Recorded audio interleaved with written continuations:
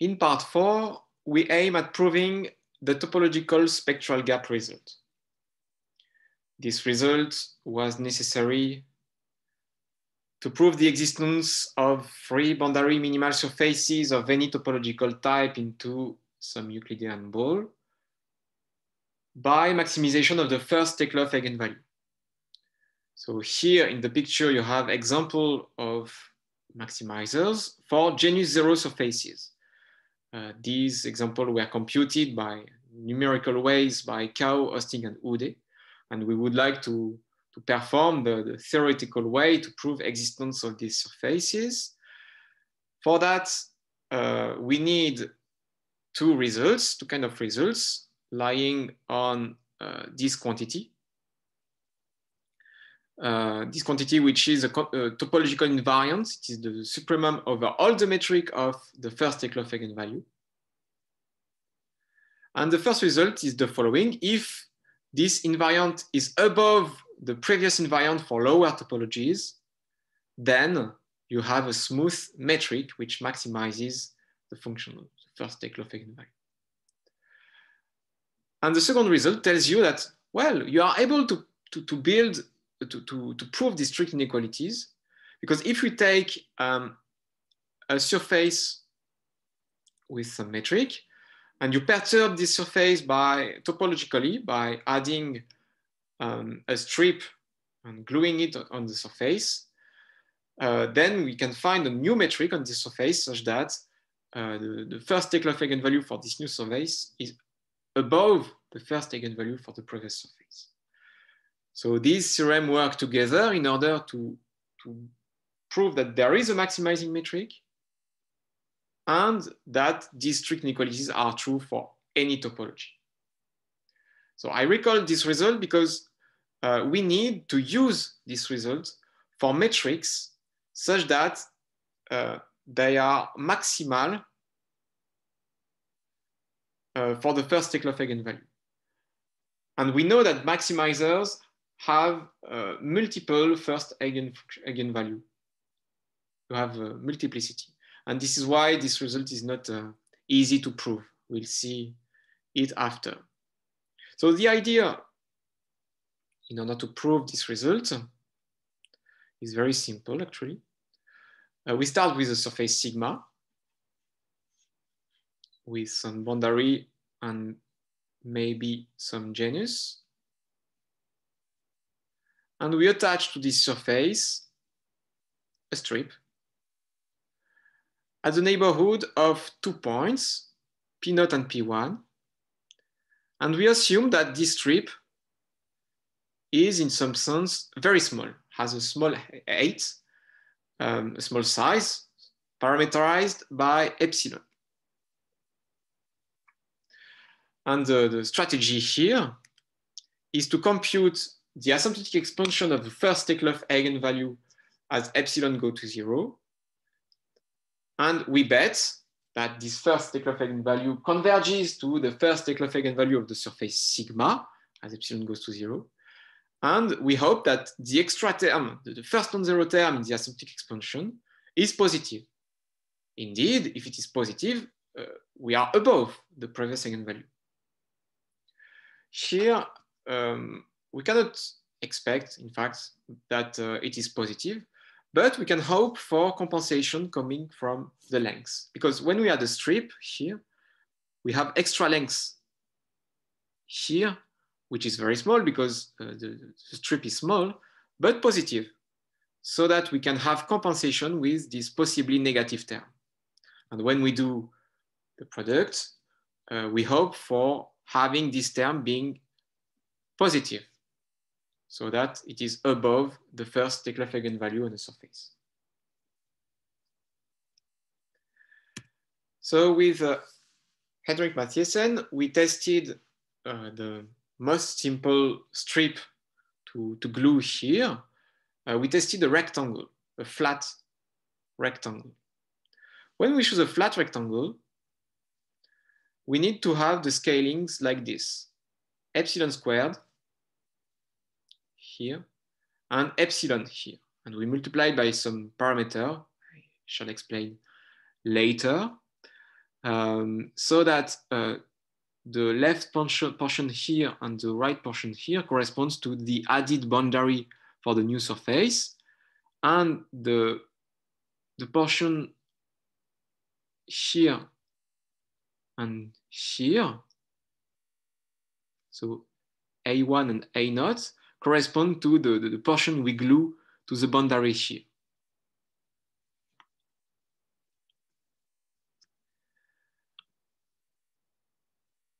And why uh, did we choose these scalings? It's because this uh, rectangle has a spectrum too.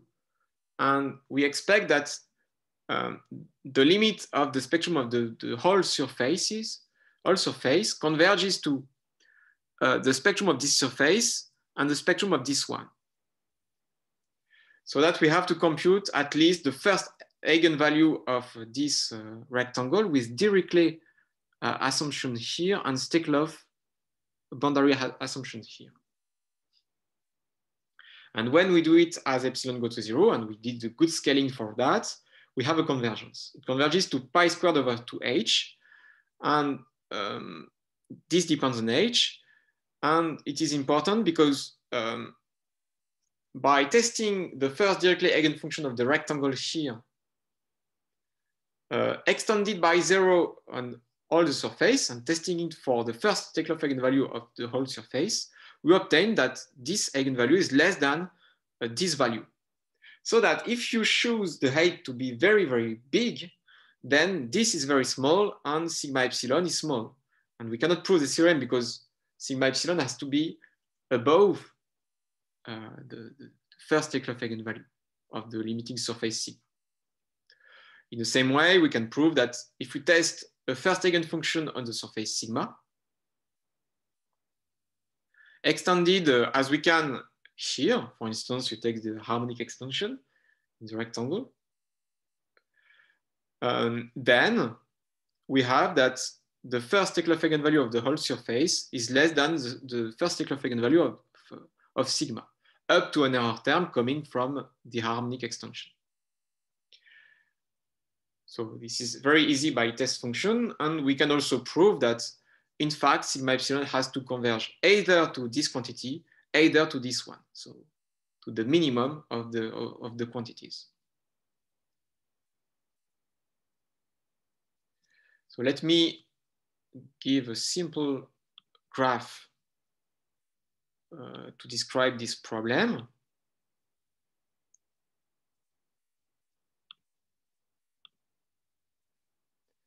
Um, so we take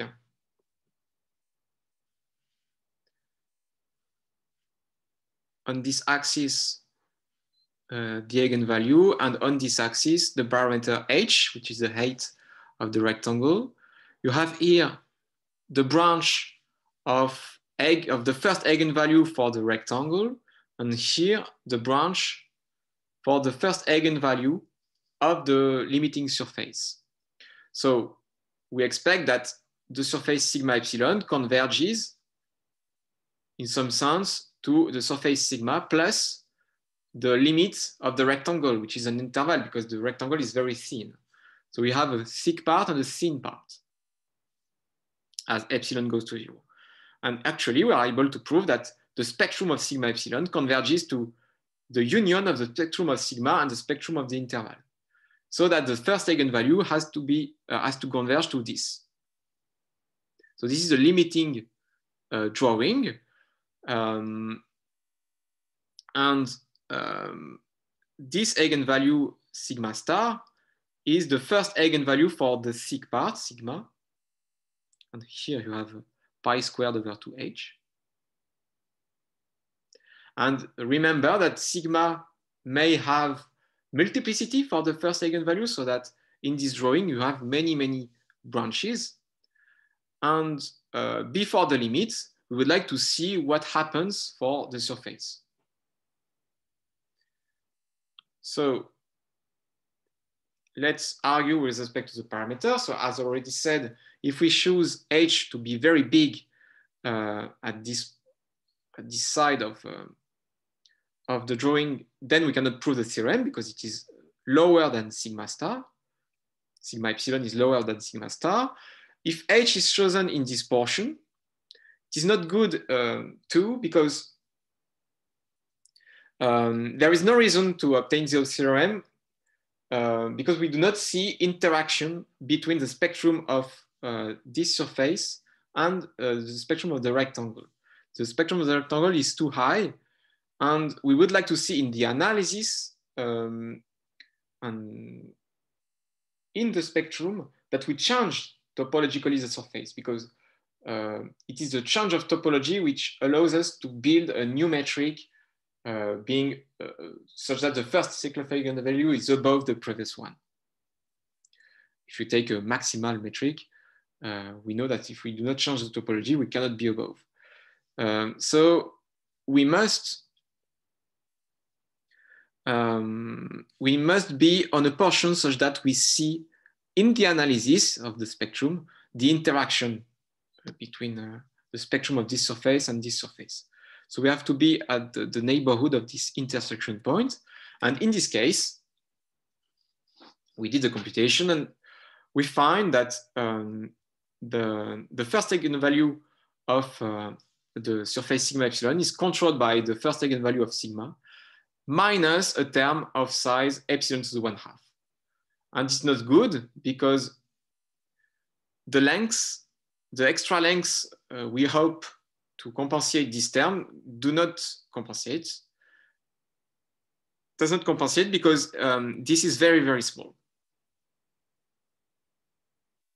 So we cannot prove this theorem uh, in, this, uh, in this case. So just to, to see uh, what happens before the limit, it's exactly, exactly this drawing. The first eigenvalue behaves like this. And the second eigenvalue be behaves like this. So that you cannot have any multiplicity, any uh, intersection before the limit. The intersection happens only at the limit, and you have uh, a distance which is of size epsilon to the one half here.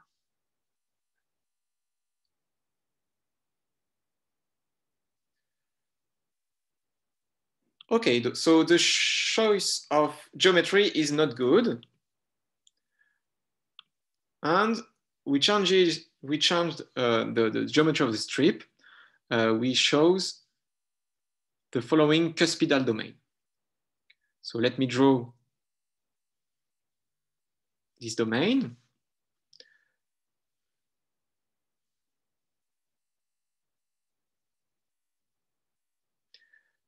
So we have a cusp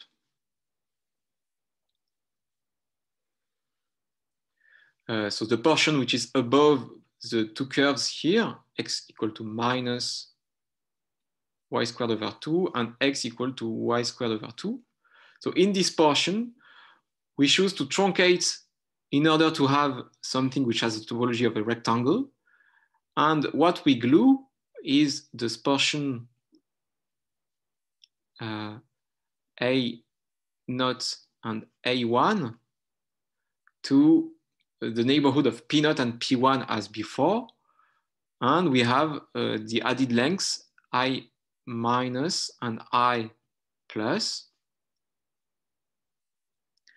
And uh, this um, truncated um, cusp uh, has to go to the cusp as epsilon go to, go to zero because uh, we want the length to be uh, smaller and smaller here in order to have a, a small height for the, the, the, strip we glue. So we have uh, two parameters, this parameter here and the parameter epsilon times r, where epsilon goes to zero and r will go to zero too. So for these domains, we are inspired by a previous work by Henrik Matthiesen and Anna Siffert, in the closed case.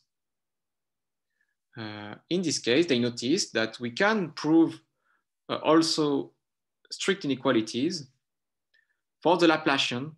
So we do not have surface with boundary, but we have surface with some genus. And removing some disks and gluing a cylinder gives you a new topology such that we can prove that the first Laplace eigenvalue is above uh, the previous one. And the geometry they add for that is a rectangle, a cylinder, because we glue this portion and this portion, in the hyperbolic half plane, half upper plane. So you have one here, R here, and the, the, the circle uh, we attach here is of size epsilon because we glue here to have a cylinder and we glue this geometry. And we see that the geometry here is very disymmetric, like here. So that um, we have here um, a spectrum, the bottom of the spectrum, which uh, converges to the, the same value. Um, and it's the same in this case. Let me describe it.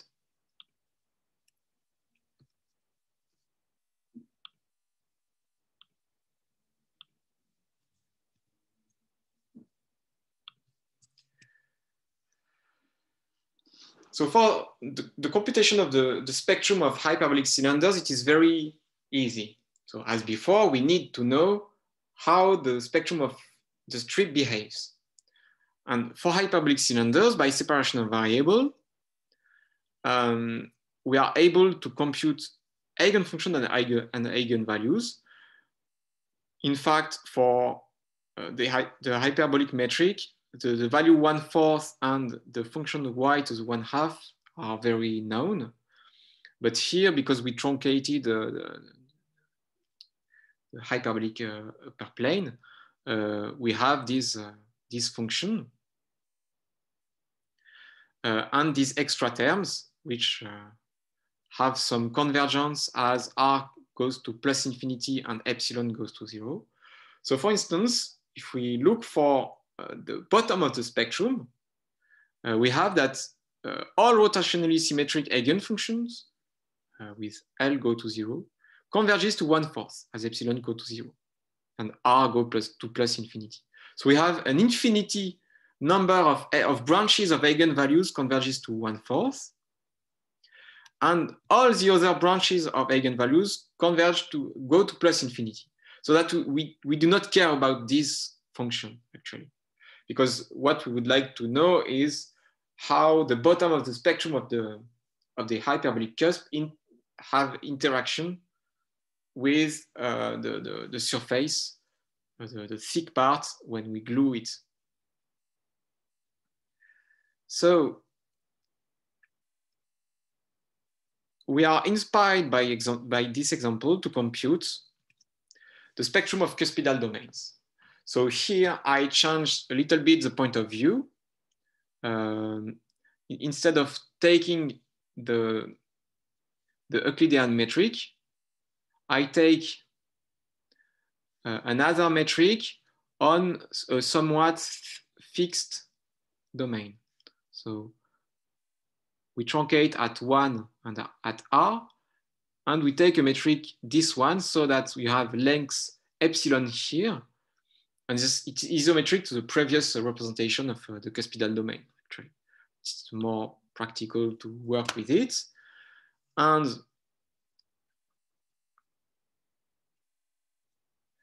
in this case, we do not have any separation of variable argument to compute eigenfunction and eigenvalue. This is the problem.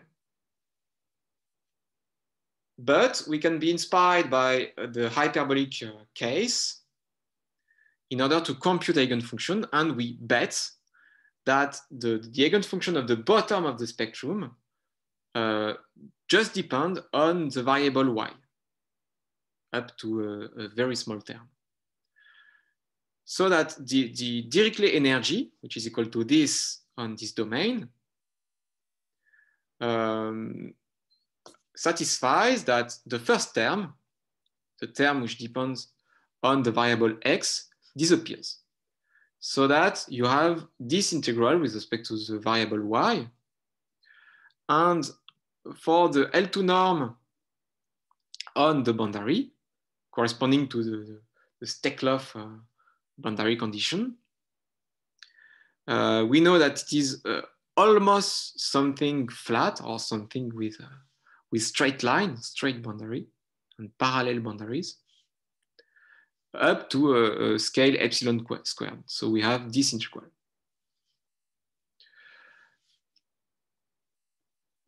And what we have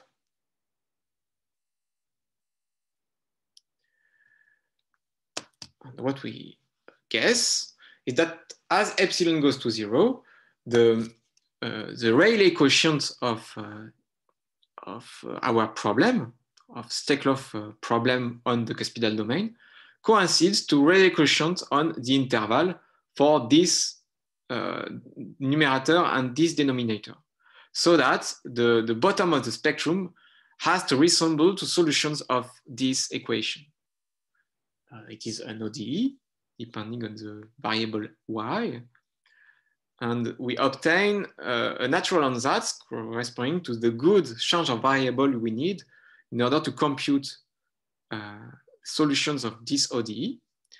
And uh, instead of studying uh, the eigenfunction equation on U, uh, we study the eigenfunction equation on theta because it is very close to this ODE. So we make a change of variable, change of uh, the eigenvalue, the Steklov eigenvalue corresponding to, to, to eigenfunction for this problem are related to nu uh, by this formula. And nu is an eigenvalue for the new variable, new function theta. So when we want to study the eigenfunction equation on the cusp, uh, we prefer to study the, the, the, the equation on theta.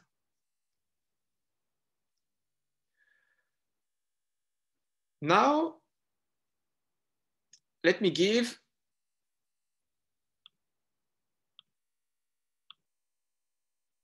a strategy, a general philosophy to study the asymptotic expansion of eigenvalue and eigenfunctions. We have here, it is very classical, in fact, we have here a sequence of functions satisfying an equation we have energy bounds coming from uh, eigenvalue, which are bounded, actually. And we have energy identities lying on eigenfunctions. And um, for asymptotic expansion, we have to, to play uh, and bootstrapping this sequence of things. So first we get energy estimates, then we get convergence of sequences of eigenfunctions, they converge to a limiting eigenfunction which satisfies a limiting equation. And we can use classification of the solution for the limiting equation. And then um, we improve the energy identities we had before on the difference between the sequence of eigenfunction and the limiting function. So when we do the difference, we want to study the error term. It satisfies an equation and improved energy identities. And we go back here. This gives you energy estimate on eigenfunction and etc. Uh, etc. Et and we continue the asymptotic expansion. So this is a general philosophy. Here, for more detailed things, um, we have that uh, the energy estimates are given by test functions for eigenvalues, for the variational characterization of eigenvalues. Uh, this gives you energy bounds for sequences of eigenfunctions. We use these energy bounds uh, on eigenfunctions satisfying an equation. And by elliptic regularity, for instance, we can pass to the limits and we obtain a, a function which is satisfying equation on the limits. Then this equation uh, is characterized. You have a uniqueness, for instance, of solution of ODEs. And you have also uh, some kind of unique, uniqueness solution of uh, the eigenfunction equation. Too. And when we have it, we can uh, improve energy identities, improve uh, the, the, the, equation and go back here and again and again, do the asymptotic expansion. So it's the general philosophy for our problem. And we have specific tools here. uh, because uh, in fact we have a problem. We have two domains. We do not be we do not behave um, at the same scale. You have the thick part, so the, the part corresponding to the surface sigma, and we have another part, the thin part. So thick part is this one, sigma. And you have the thin part, which is the, the cusp we glue to sigma. So it is glued like this. You have this P naught here and P1 here.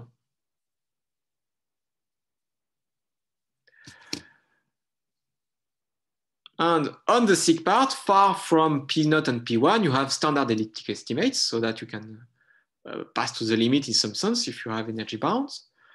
Um, you have also an equation on the thin part.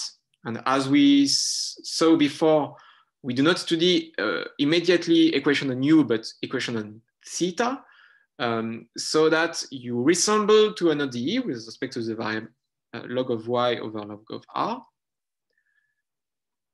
And then we have to connect these two parts.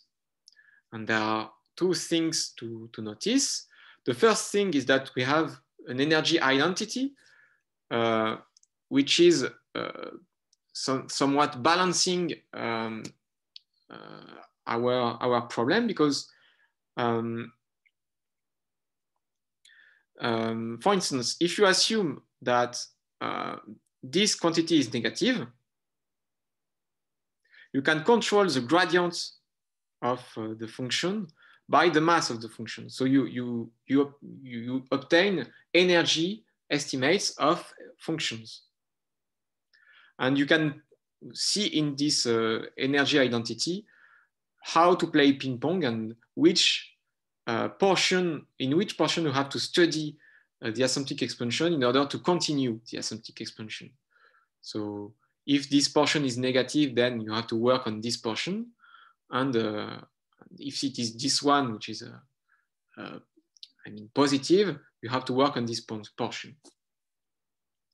And obtaining this uh, balancing energy identity is very simple. You take, you, you integrate the Steklov eigenvalue equation, and you split uh, in the portion which is in sigma for here, and the portion on omega from here where I is this portion and A is this portion. Okay, and the last tool we have is uh, more subtle on eigenfunctions. Uh,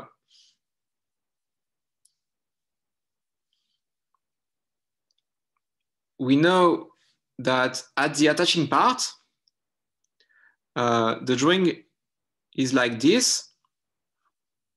You have the cusp here, and you have the surface sigma here.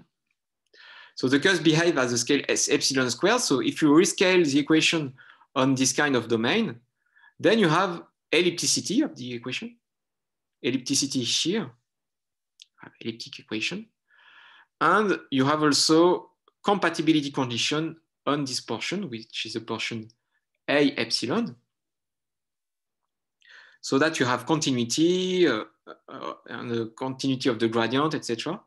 And you can use it to, to connect this surface and this surface for the eigenfunction. And we also have equation at intermediate scales close to P0 and P1. So here, for instance, was P0. And for uh, the scale epsilon squared, you have elliptic estimates which connect to omega epsilon, but you also have elliptic estimates on annuli, which are at all the scales between one and epsilon squared. And when we use all of these, we can uh, rule out this asymptotic expansion. So let me give now all the steps of the, of the proof. So first, we look for upper bounds for eigenvalues because this will give you energy bounds.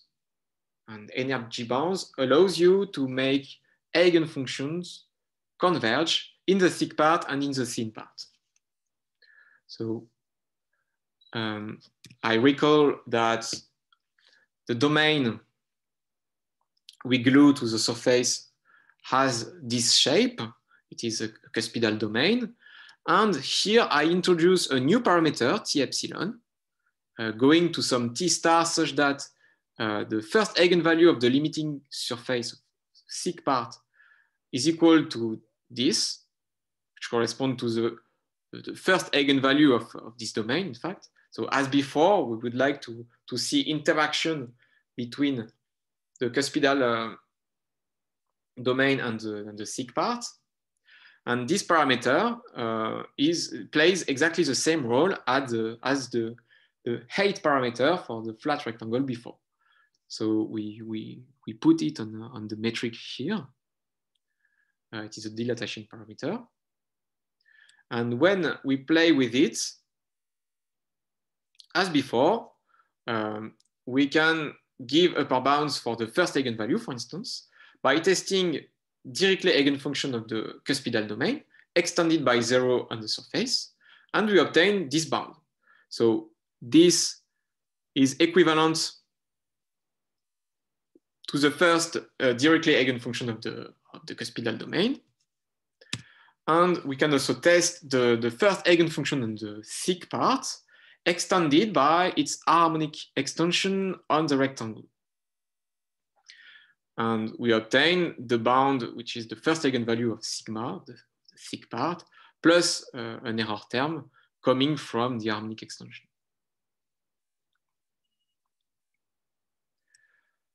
Okay, so when we do this, there is a, uh, something natural to do is to set r epsilon to be uh, exponential to the minus one over epsilon to the alpha for some constant alpha positive, because uh, we have this log of r epsilon squared here. Uh, and we want to compare uh, this square to epsilon. So it is convenient to set this and notice that r epsilon is drastically small. It is very, very small uh, compared to epsilon. Now in step two, since we have um, control of the energy, uh, and since the eigenfunction satisfy an elliptic equation on, uh, on the thick part, uh, far from the attaching point, at least we're able to prove convergence uh, in any space you like and they converge to a solution of uh, eigenfunction equation of the thick part.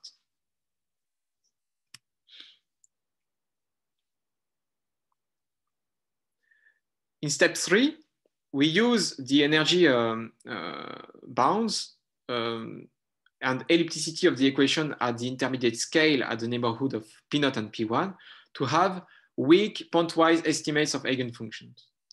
These will be useful to, to, to give pointwise estimates, even if they are very weak because we, we have estimates by log functions, but they will be sufficient to, to, to, rule, um, to rule out uh, asymptotic expansion of eigenfunction on the thin part then by connecting it to the thin part. But before, we need to choose the parameter t epsilon. So as I already said, I want to have interaction between the spectrum of the rectangle and the spectrum of the thick part. And the choice we do is to, to, to have the mass of the first eigenfunction to be the same in the thin part and the thick part, so that the first eigenfunction has to resemble to a first eigenfunction on the thick part and a first eigenfunction on the thin part. So interaction is visible on this function. And why we can do this, it is a kind of continuity argument because if the parameter t is far from, uh, from uh, being equal to the t star, uh, then uh, at the left or the right side, you, you have either all the mass which is on the thin part or all the mass which is on the thick part. So in between, by a continuity argument, by some continuity argument, you, you are able to prove that uh, you have half of the mass in each part. Okay, now we are able to, to do uh, the asymptotic expansion of the first eigenfunction on the cuspidal domain. Uh, so thanks to the choice of the parameters, such that you have mass on the thin part, you, you must have that the first eigenfunction resembles to a first eigenfunction on the thin part. And um, we know by change of variable uh, we, we talked about before, um, we know that it resembles to this, where here we have theta, depending on the variable log of y over log of r, and you have your parameter nu epsilon, which is connected to the first eigenvalue of the surface by this formula. And actually, uh, we have more than this. We have by, by previous steps that nu epsilon has to converge to pi squared because you have a bound the eigenvalue. In fact, we know that this converges to some eigenfunction. So uh, nu epsilon has to converge to either zero, either pi squared, either two pi squared, etc. But since we have the bound, the previous bound, we know that it is less than pi squared. And since we have some mass in the thin part, it has to converge to pi squared. Moreover, thanks to um, the, the boundary conditions uh, given by the thick part and the weak estimates of the step three, we know that um, the function resembles more to a sinus than a cosinus. So B epsilon is uh, bigger than A epsilon. So it resembles to a Dirichlet first eigenfunction. Um, once we have this, we put this information to the energy identity. So uh, we have the portion in the thick part, which is equal to the portion of the thin part. And if we put uh, this, uh, this computation in the energy, we know that um, this is equivalent to a term of order epsilon.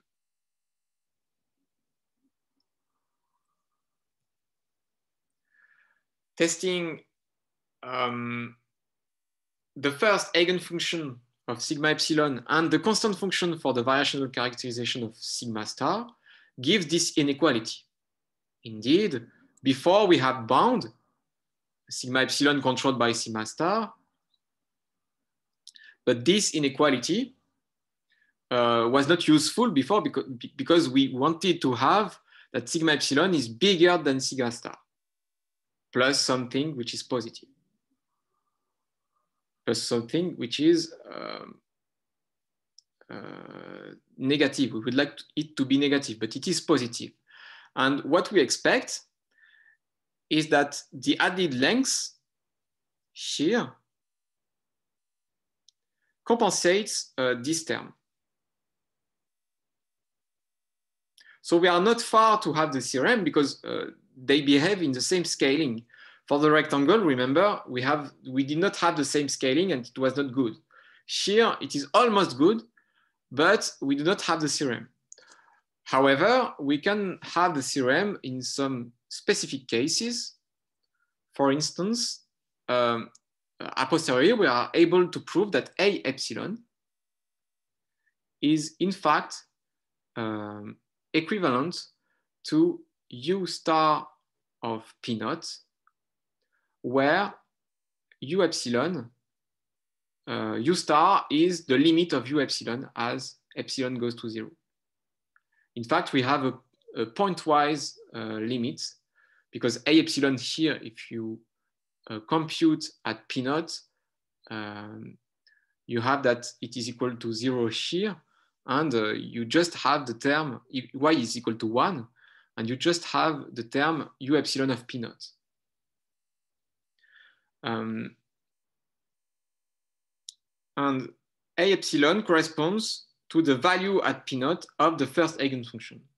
So that if you do not have multiplicity of the first eigenvalue, on the limiting surface sigma, you are done because you choose P naught to be on, um, on, um, on a point such that the first eigenvalue, eigenfunction vanishes. And in this case, since uh, A epsilon converges to u star of p naught, this converges, this is a, a little o of epsilon. And then the extra length compensates everything and you have the theorem. But remember that we want to prove the theorem for metrics which have multiple first eigen, eigen, eigenvalue.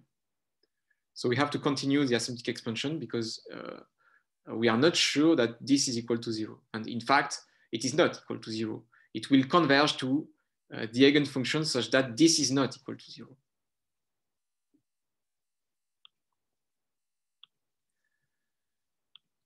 But here, um,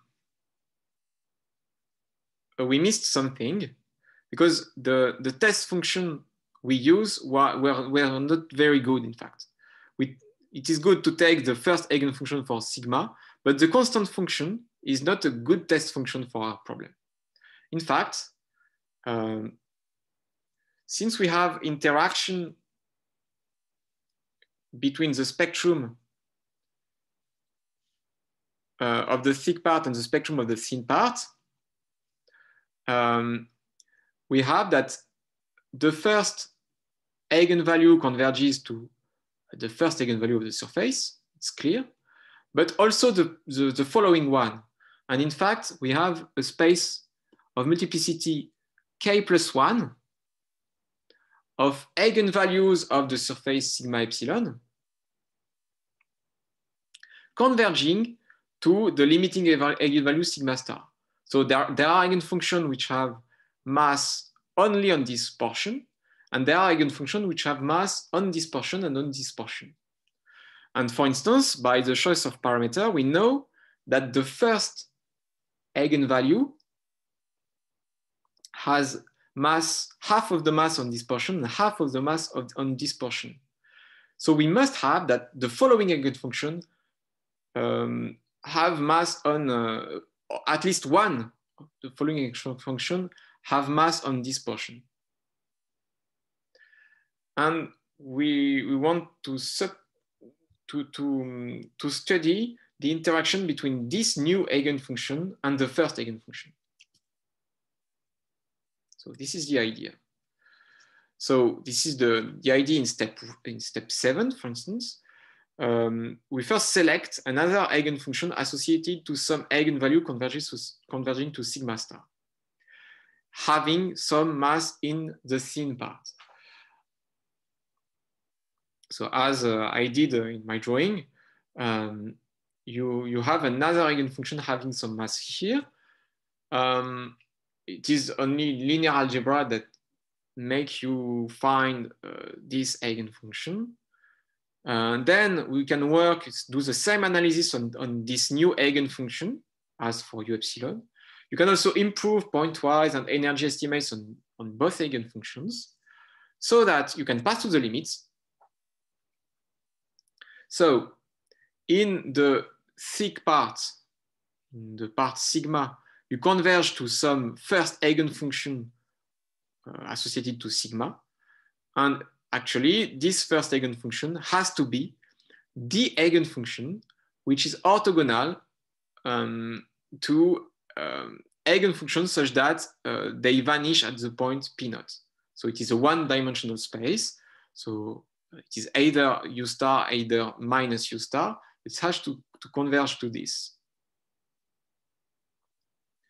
Um, so for instance, up to take a sign, a sign minus, we shows we choose u epsilon to converge to u star and v epsilon to converge to minus u star. And then the analysis gives you that u epsilon and v epsilon has to resemble to this with a, a, a plus sign. Because um, u epsilon and v epsilon are orthogonal before the limit. So at the limit, we must have different signs here and here. Then in step nine, uh, we aim at improving estimates for some linear combination of these functions to go further in the asymptotic expansion. So the main tool we use is orthogonality of u epsilon and v epsilon. It is this formula. It is a kind of uh, the same kind as for the energy uh, identities, but we have this identity connecting these two eigenfunctions on the thick part and on the thin part. And thanks to this, uh, these estimates, we are able to compute um, very precisely um, the, the, the first eigenvalue um, on the surface and to get a bound by the, the first eigenvalue on sigma epsilon by testing this um, linear combination. Then we have the scaling, exactly, where alpha were given by the parameter r epsilon here. And if we choose alpha to be uh, bigger than one third, then we have that this is a little o of epsilon, and the length, the extra length, compensates this uh, loss of eigenvalue, and we obtain, in this case, the theorem.